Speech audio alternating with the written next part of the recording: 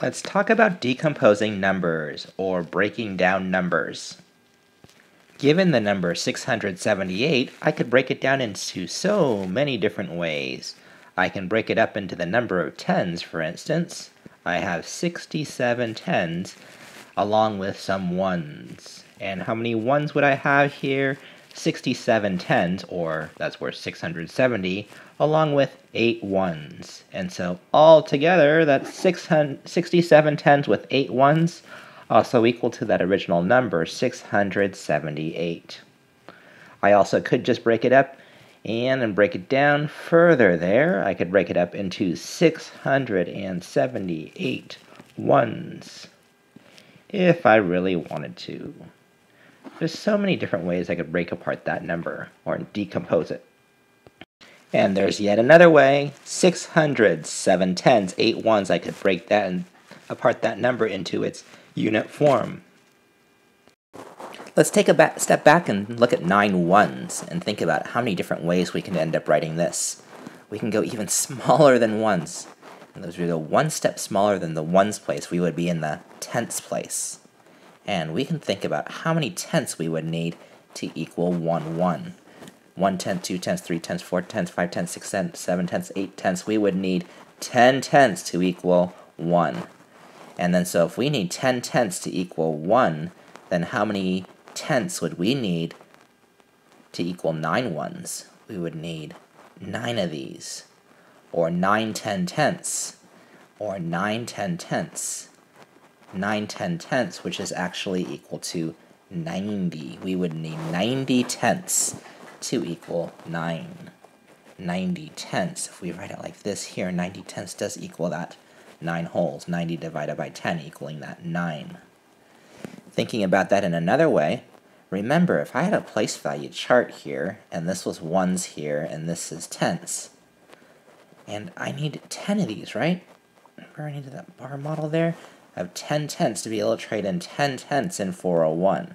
And then so if I had 9 of these, or I had 9 of these, 9 tenths, or I'm sorry, 90 tenths, I had 9 of these, meaning I had um, 10 tenths here.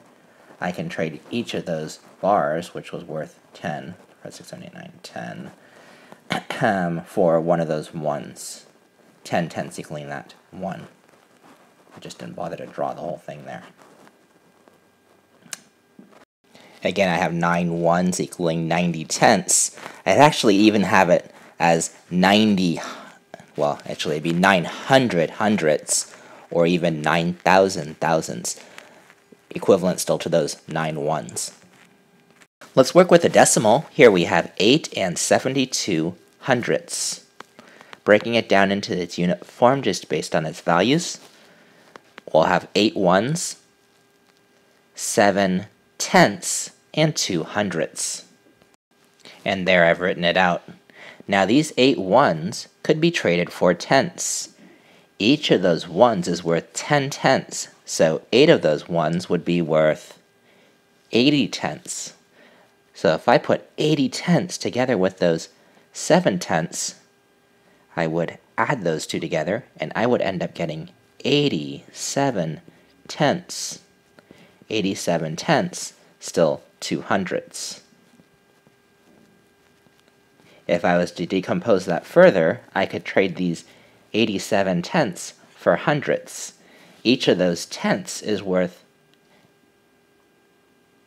each of those tenths is worth 10 hundredths, so that 87 tenths is worth 870 hundredths. 870 hundredths. And then if I put it together with that 2, it's 872 hundredths. Notice the pattern here of how it is that this number is decomposed further as we're looking at it from place to place. In this case, one of the key things to notice here is that each of these places actually has a digit in there. It will look a little bit different if we um, had our number as before, where it is that we had a zero in one of those places. So you do have to be careful of that. as you're decomposing numbers to make sure that that number still has the same value as that original number. Let's look at one more example here where it is that we are looking at money in this case, or $9.25. We can think about money and we can think about the number of $1 bills, or the number of ones, the number of dimes, or that tenths place, and the number of pennies, or the ones place in this number. And that's very similar. In other words, we're looking at that ones place, right? We're looking at the tenths place because a dime is worth one tenth of a dollar. And we're looking at the pennies place, which is one hundredth of a dollar. How many ones is it? Right, nine. How many dimes would you need there to make up that number? If we already had nine ones, you need two. And if we already had nine ones and two dimes, how much more would you need to be able to equal $9.25? You would just need five more pennies. Now, another way to write this then, if we were looking at this here and we're, oh man, we want to get $9.25, but there was no such thing as ones, and we had to get enough dimes to equal that nine ones, how many dimes do you need to make up a dollar? Right, 10 of them. And then so if 10 dimes already equals $1, and 10 dimes equals 1 1, and then so it's a $1 bill, of course, then um, how many dimes would you need to equal 9 ones? You would need 1 times 9 there, 10 times 9 equaling 90 dimes. 90 dimes.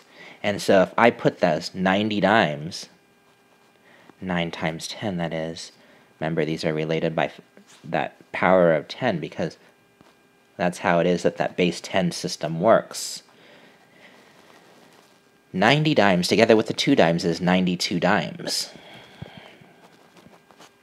92 dimes along with still 5 pennies. Of course, if I didn't have 92 dimes, each of those dimes is worth 10 pennies, and then so 92 of those dimes will be worth 920 pennies, and then so I could have 925 pennies still to be equal to my $9.25. So there I've decomposed um, that number and decomposing that number, just relating it to money. Here, let's go ahead and have you try. If we read this number right here, I'll walk you through this. This number right here is 7 and 325 thousandths. 7 and 325 thousandths. So go ahead and fill it in right for your unit form what each of these values is for each of these numbers. Go ahead and take a look here. Think about those places and how it is that we've originally broken each of these numbers apart and broken each of these numbers down. Pause the video and I'll write in those answers of a possible unit form, and the possible unit form that you'd probably come up with if we started and broke this number down would be as follows.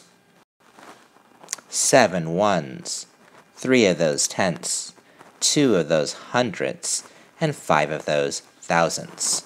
Now what we could do though is that we could break apart these seven ones into tenths, and each of those ones is worth 10 tenths. Pause the video Remember to put it together with uh, 3 tenths to see what it is that you would come up with.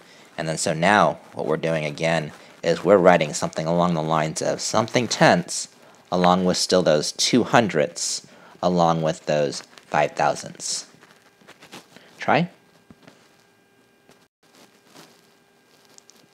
Those seven ones are worth 70 tenths. Putting it together with the three tenths, we get 73 tenths.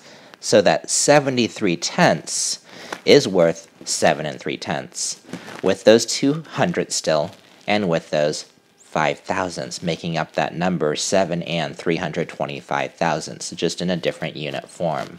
We could still break it down into hundredths even, those 73 tenths being worth 730 hundredths, so we would have 732 hundredths and 5 thousandths together with five thousandths.